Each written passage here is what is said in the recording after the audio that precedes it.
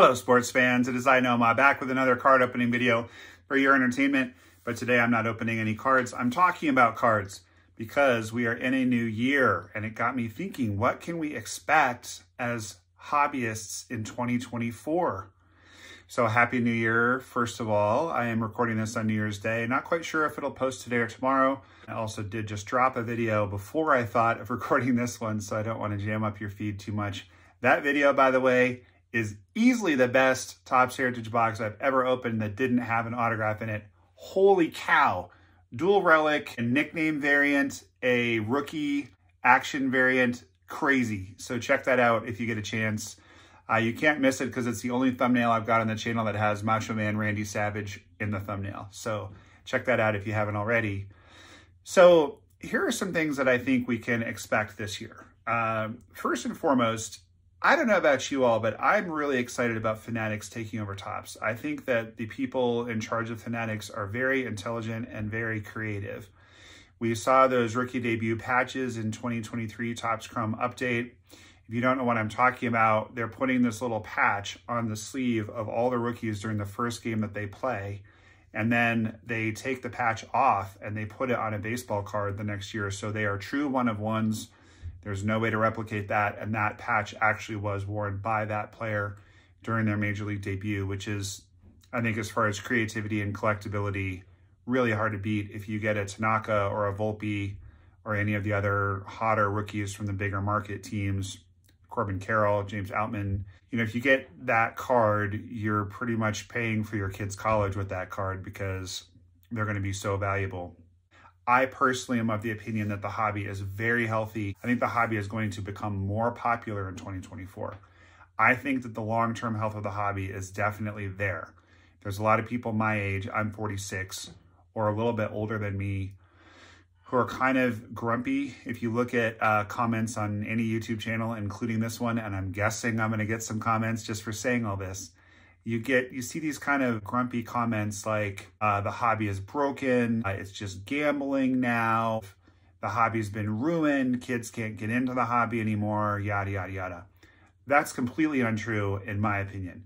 So in my opinion the hobby has actually never been healthier because you can go to target and you can buy a pack of Topps opening day or Topps big league for just a few dollars. So any kid and any person on any budget can actually successfully collect.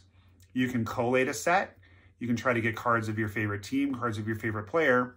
And I got into the hobby in 1988. So when I got into the hobby, there was no game used relics. There was no, I should say there were no autographs. There were no parallels. It just wasn't a thing.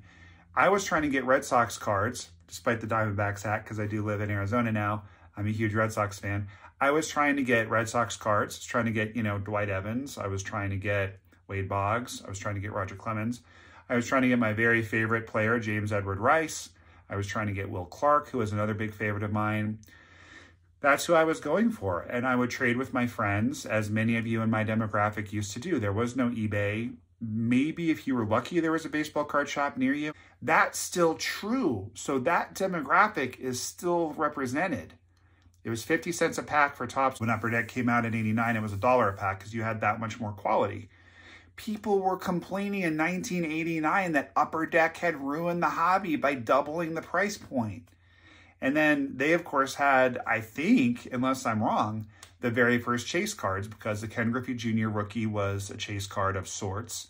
The Michael Jordan short print certainly was a chase card for sure. Twas always thus, as they say. You know, as long as I've been collecting, there were people being like, well, they're too expensive, da da da da da. And there were people buying the lower end stuff because that's what they enjoyed and or that's what they could afford. All that that's doing is opening up a segment to other kinds of collectors, to high-end collectors who have disposable income, uh, to breakers who can afford to buy that product and then people can buy into the break and have the thrill of maybe hitting that $10,000 card without having to spend thousands of dollars for that opportunity.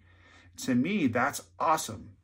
Now, as to the point of the gambling question, I, I don't deny that that's a problem. I don't think that that's a healthy thing to do. So how is it different from gambling? Because when you gamble and you lose, you have nothing to show for it when you buy baseball cards, even if you don't get a huge card, you still have something tactile to show. And you can choose what to do with that.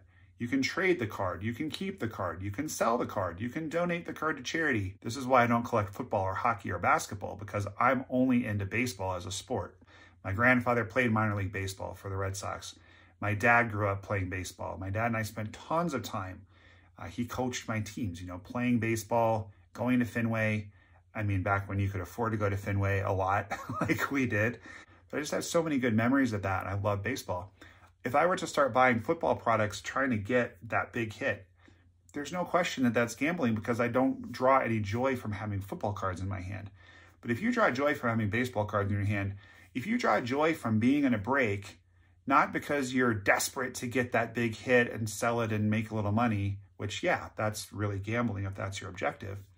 But if you're buying into a break, as I have done many times, just to have something to do to entertain yourself on an evening, I mean, do you want to spend 20 bucks going to the movies and getting a burger, or do you want to spend 20 bucks being in a break? It's kind of up to you. Again, the presence of the higher end products, the presence of breakers, to me, that's not ruining the hobby. That's giving you different ways to enjoy the hobby, different avenues to enjoy the hobby. We live in an amazing time where we can even do that. Like the fact that you can be in a break is crazy and it's awesome. The fact you can get on eBay and get cards of your favorite player, it's just easy like that. That's that's amazing. 12 year old me would have loved that to be able to just get online and get Jim Rice cards. It's a wonderful time to be a baseball card collector, in my opinion, because there's just so much available. And not to mention all of the friends that I made through the channel, all of you guys who support me. I'm talking to you, Jason in Vermont, and I'm talking to all the other people that, that enjoy the channel.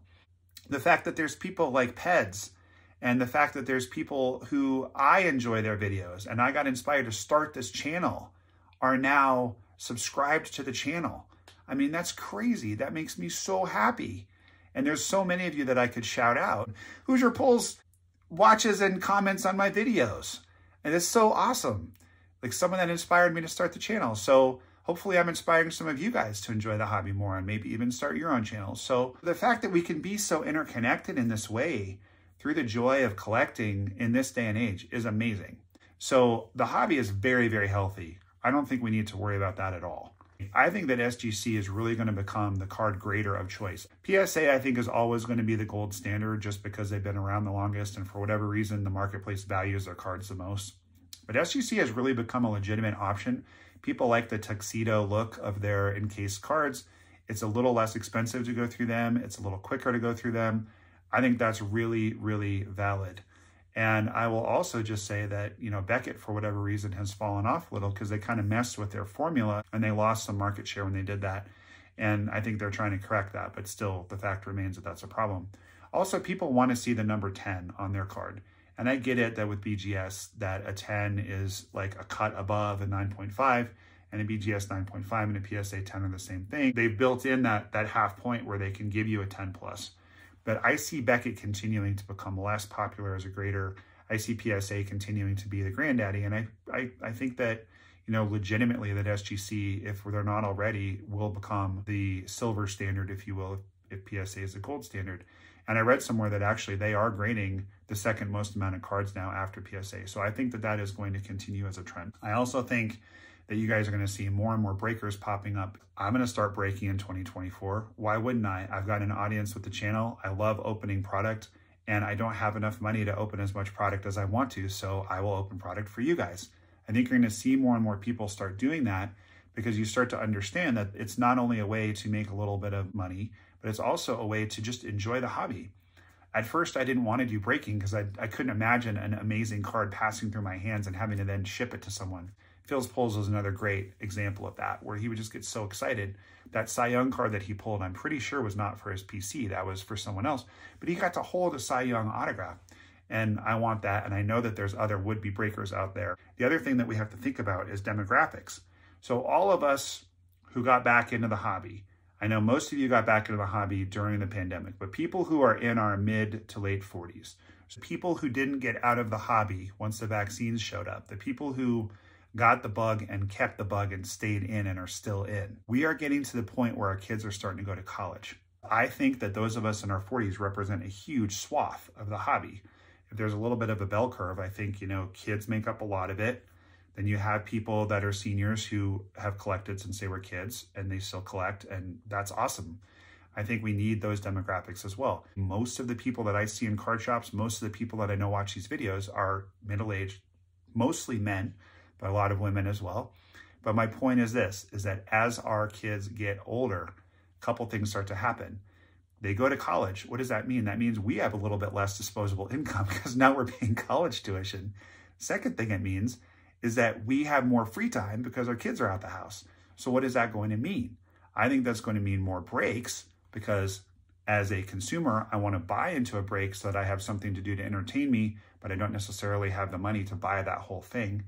As a breaker, I want to be able to make a little extra money and still be opening product without it spending money. So that's why I think that there's going to be more breakers. I think you're going to see more and more uh, popularity amongst heritage and archives. So flagship is considered to be the kind of the best Topps product. And then of course you have all the upper echelon products.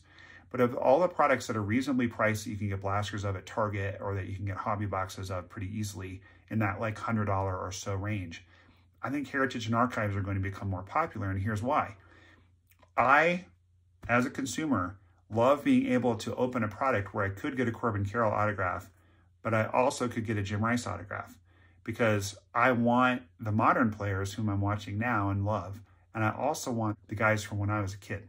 So I think we're going to see a rise in the popularity of those products as, as my demographic starts to discover those heritage and archives give us both. They give us the, the stars of the past and the stars of today. And I understand why uh, a lot of people aren't interested in heritage and archives because they just want the highest end product. And I understand why a lot of younger people are not interested in them because they don't know those players and they just want the modern guys. But I do think that heritage and archives are going to become more popular and start to not necessarily challenge flagship, but in the same way that I don't think that SGC is going to unseat PSA, I do think that heritage and archives will become very much the 1B after Topps flagship as the go-to product for the industry because the industry is being driven by people in my demographic. That's what I and my friends want. So I'm guessing that that's uh, going to happen. Another interesting thing is that I think we're going to see a fall off in the popularity of Topps Chrome. Topps has really blown it with Chrome in the last couple years. So the first problem was when they didn't put the J-Rod and Torkelson and Bobby Witt Jr rookie cards in like they were supposed to last year. And then they had those silver packs that you could get by buying hobby packs. But then your odds of hitting something in the silver pack were really minuscule and you couldn't get them from uh, retail. That was a problem. Not to mention the fact that we all know that 2022 Topps Update QC was just trash. We were getting all kinds of miscut cards, off-center cards, just bad, bad, bad. Not to mention the sticker autographs are not optimal. So then this year, with 2023 Topps Chrome flagship, they did actually a pretty good job. And the buyback program, of course, is nice because if I can buy a blaster for 35 bucks, I pull an Acuna card that I can get $20 credit for, the economics make sense to, to be buying more Topps Chrome flagship. So I believe they're going to continue that promotion next year. I hope they do, and I think that that will be very helpful. But then 2023 Topps Chrome update was just awful. Just an awful product loaded with guys you've never heard of before and sticker autos. And yes, you can get those those debut patches that I mentioned before, but I just I don't think that Topps Chrome has a very bright future. I think people are going to be looking more so to Sapphire as the card to get. If you look just simply at recent sales on eBay, and if you look at Beckett card values, the book value, Chrome cards are sometimes worth the same or less than the flagship rookie of that player. So yeah, we're buying Topps Chrome to get the Chrome autographs, which do tend to hold value, but if you can buy a pack where you get eight or nine cards versus a pack where you get four cards, and if the cards contained therein are worth the same, it logic dictates that people are going to start catching on to that and Topps Chrome is going to diminish in popularity. The last thing that I just want to throw out there as a prediction for next year is I think you're going to continue to see Panini weaken as an option in the marketplace. The only reason why I opened Panini is because I want to show variety on the channel and I want to show you guys all the different options of what you might be able to buy. Panini is uh, problematic for a number of reasons that we're all aware of. First of all, is that their customer service is atrocious. I'm still waiting on two redemptions from Panini from 2021. So we're now looking at being in the third year of not having those redemptions. One is of a Trent Grisham color rookie parallel auto, which at the time I could have gotten something in trade or I could have sold it, but he's not that good, so it's not worth anything anymore. The other is a Bo Jackson to 25 auto that I would love to have, but I don't think I'm ever going to get it at this point. Panini customer service is terrible.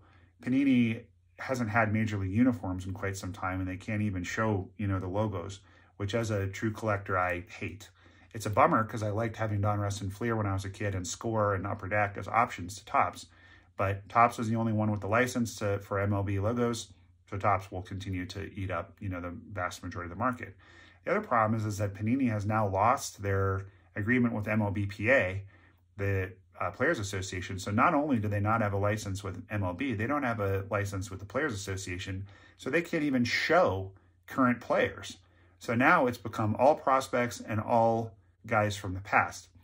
Notwithstanding the fact of what I said about I think Heritage and Archives will become more popular, because I want to be able to get the stars of today and yesterday, I don't necessarily want a bunch of fringy guys who may never even get in the majors eh, mixed in with a bunch of stars of yesterday who look like they're playing softball because they have no logo on their hat and no logo on their shirt.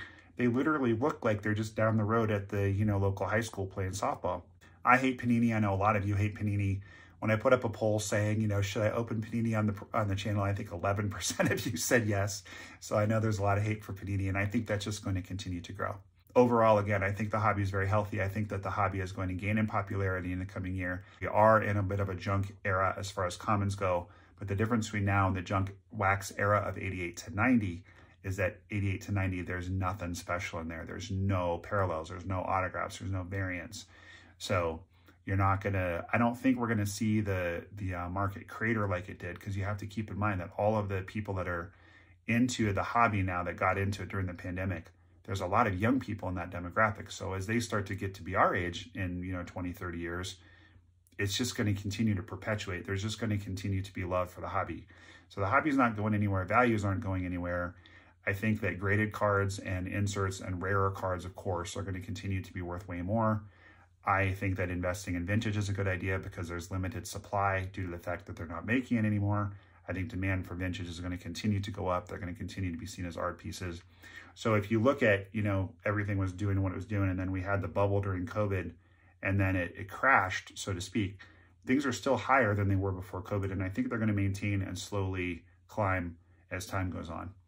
So enjoy your collecting. Let me know in the comments what you thought of all of this. I look forward to some constructive dialogue. If you disagree with anything I've said, I'd love to hear it. Let's have some uh, educated discourse, but let's keep it civil. And I'm really looking forward to this coming year with all of you. Uh, let's just keep on ripping and keep on sharing and keep on enjoying trading, selling, buying, doing all the things. Because why? Baseball cards are awesome and Nomah loves you. So keep that smile on your face, everybody. I wish you a beautiful, warm, healthy, happy new year. And we will talk to you very soon. What's up? I'm Kevin Millar. Nomar loves you.